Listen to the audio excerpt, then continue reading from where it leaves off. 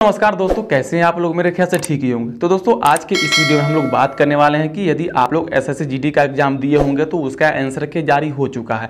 दोस्तों, आप आसानी से उसका आंसर के चेक करके अपने रिज़ल्ट को पक्का कर सकते हो। जैसे कि आप लोग वहाँ अस्सी क्वेश्चन बनाए होंगे, लेकिन दोस्तों, उस अस्सी क्वेश्चन में कितना आप लोग गलत बनाए हो एंड कितना सही बनाए हो, वो सारे के सारे प्रोसेस आपको आंसर के में मिल जाएगा। आप उसे चेक कर सकते हो आसानी से। तो दोस्तों, कैसे चेक कर सकते हो, इसकी जानकारी मैं इस वीडियो में देने वाला हूँ। तो दोस्तों, यदि इस वीडियो में आप लोग आए हो तो चैनल को सब्सक्राइब करके कहीं जाना, क्योंकि आपको ऐसे ही इंपॉर्टेंट वीडियो मिलती रहेंगी। तो सबसे पहले आपको क्या करना है, आ जाना है क्रोम ब्राउज़र पे।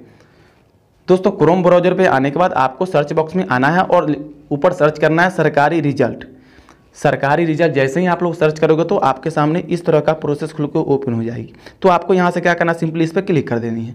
क्लिक करने के बाद आपके सामने फिर से एक नया सरकारी एग्ज़ाम डॉट कॉम की पूरी लिंक खुल के ओपन हो जाएगी। अब यहाँ से आपको खोजना है कि कहाँ है आंसर के, जिसमें आपको एस एस का आंसर के देखने को मिलेगा। तो आइए नीचे आते हैं। नीचे आने के बाद जो कि देख सकते हो यहाँ है आंसर के। यहाँ देख सकते हो आंसर के और उसके नीचे आप फोर्थ नंबर पे देख सकते हो S S C G D constable 2022 का आंसर के आ चुका है। तो सिंपली आपको इस पर क्लिक कर लेनी है। जैसे ही आप लोग क्लिक करोगे तो आपके सामने फिर से एक नया इंटरफेस खुल के ओपन हो जाएगी। तो आपको यहाँ से क्या करना है? सिंपली ऊपर आ जाना है। ऊपर आने के बाद आपको सिंपली इस तरह का प्रोसेस खुल जाएगी। तो आप लोग यहाँ देख सकते हो डाउनलोड आंसर के।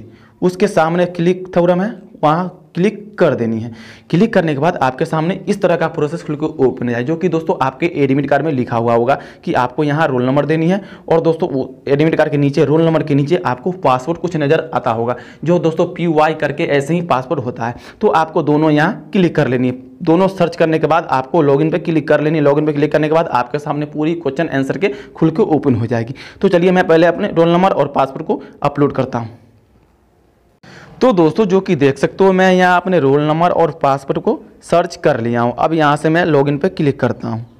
लॉगिन पर क्लिक करने के बाद आपके सामने इस तरह का इंटरफेस खुल के ओपन हो जाएगी जो कि देख सकते हो दोस्तों 18 दो 2023 से लेके 25 दो 2023 तक ही आप लोग अपने आंसर के को चेक कर सकते हो जो कि देख सकते हो तो मेरी वैलिडिटी खत्म हो चुकी है। नहीं तो दोस्तों यहाँ पे आपको क्लिक का नज़र एक ऑप्शन आएगा उस पर जैसे ही आप लोग क्लिक करते हो तो दोस्तों आपको पूरी आंसर के पूरी प्रोवाइड किया जाएगा यहाँ पे पूरी आप लोग चेक कर सकते हो आसानी से और अपने रिज़ल्ट को पक्का कर सकते हो।